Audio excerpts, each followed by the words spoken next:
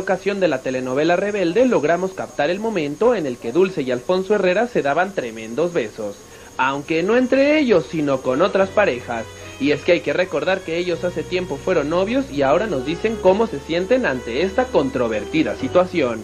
Híjole, es parte de todo. Este, pues no, digo, nos llevamos bien, este, vamos a trabajar dos años juntos y nos queremos mucho y todo, pero pues es parte, es profesionalismo, ¿no? Así tiene que ser y pues, pues ni malo.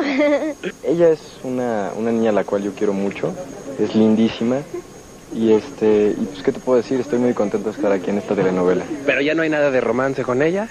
Este, estoy muy chido, estamos muy chidos. Pero bueno, entonces hay una amistad, ¿no? Ahí Sí, está todo muy bien.